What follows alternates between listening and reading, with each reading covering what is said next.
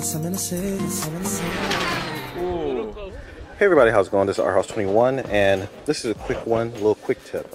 So, some of you have seen some of my videos where I was soldering up some uh, big ESC connectors and you know big major jobs and I was struggling with my little Harbor Freight uh, high wattage soldering iron.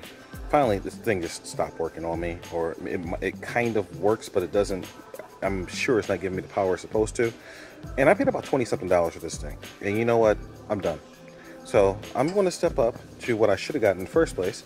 And this is a Weller 100 140 watt unit.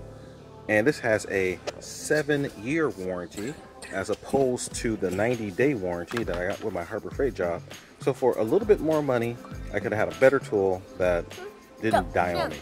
So sometimes, as they say, be penny wise and pound foolish. Buying the right tool for the right job is oftentimes much better than buying the wrong tool twice, or three times, or four times. All right, guys. So I hope this is useful for you. Now, let me uh, let me just jump in for a little bit. I mean, this thing has some nice little features.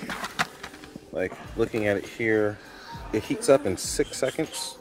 It's got three different LED brightness, so it's got a little LED on the front of it, so it lights up your work area, which is kind of cool. Um, you got this multi-trigger pull area here, so it, um, you know, so you can easily select which power level you want to go after. It comes with a couple different little soldering bits, and you know, there's different applications, so you can use one to smooth and that smoothing one I think is actually be good for um, for plastic welding. And then there's actual soldering and then there's a little knife cutter blade too. So you have options. So all right just wanted to give you a heads up because I really wish I would have you know did a little bit more research before I just bought the one on sale at Harbor Freight.